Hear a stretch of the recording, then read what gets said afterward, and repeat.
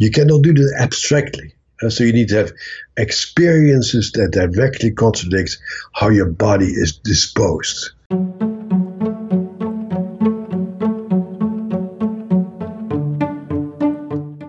What is limbic system therapy and how is it useful in the treatment of trauma? According to Dr. Bessel van der Kolk, most interventions that he recommends for working with trauma fall within the category of limbic system therapy.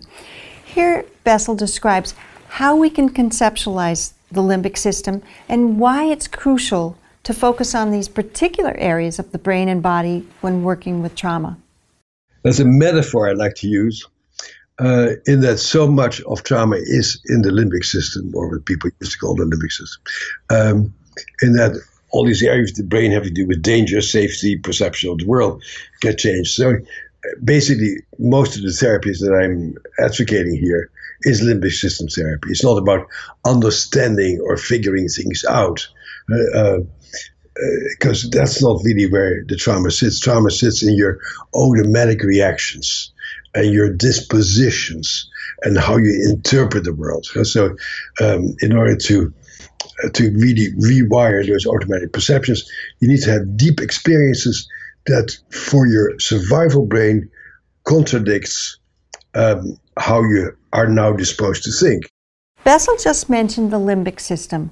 Broadly speaking, it's the emotional part of the brain. It contains both the hippocampus and the amygdala. The hippocampus is associated with memory, and the amygdala is involved in detecting threat. Now, you might have noticed that he said what people used to call the limbic system. That's because there's some question about whether or not it's still useful to think of all the parts of the brain that make up the limbic system as a unified system. However, what's important to take away here is this. Trauma doesn't necessarily live in the part of the brain that's concerned with reason and insight.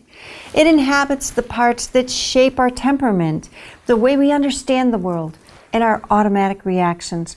So when we target the part of the brain that's feeling and reacting automatically, when we create a new experience that contradicts the lesson that that part of the brain has learned from trauma, that can change the way a person with a trauma history is wired to respond. So, what does it look like to have an experience like that? An experience that rewires the brain? For example, if you grow up thinking that you're helpless and that anybody can do anything to you unless you yell at them, um, that becomes your disposition. But now, if you take a martial art course, you get to deeply feel like, wow, I can kick anybody in the groin at any time if I feel like it, and I can protect myself. And if you have experienced that of becoming a martial artist, then that feeling of I'm always helpless will dramatically change. You cannot do that abstractly. Uh, so you need to have experiences that directly contradict how your body is disposed. Who understands this best is the US Army, who learned it from the Dutch army, that learned it from the Roman army uh, over 2,000 years. And that if you want to take a bunch of young recruits, the best way to get them to do things is to do basic training. And basic training, you march and you climb and you crawl through the mud, and every night you go to bed and say, Oh my God, I'm amazing. I survived this. I thought I could never do this, but I can.